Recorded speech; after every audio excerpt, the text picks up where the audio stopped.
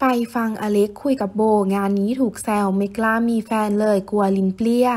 เป็นอีกคู่รักที่คลั่งรักกันมาก ๆ ค่ะ ระหว่างคู่ของนางเอกสาวโบว์เมลดา และนักแสดงหนุ่มชื่อดังอาเล็กธีรเดชโดยเราจะเห็น moment หวานสุดฟินของทั้งคู่อยู่เรื่อย ๆ ผ่านอินสตาแกรมและช่องทางโซเชียลต่าง ๆ ซึ่งวันนี้เราจะพาทุกคนไปฟังคำพูดของหนุ่มอาเล็ก เมื่อรับสายโทรศัพท์โบว์เมลดา ซึ่งหนุ่มอเล็กถูกถามกลางรายการสามแซบว่า สมมุติว่าโบโทรมา พูดว่าอะไร หนุ่มอเล็กก็พูดว่าฮโย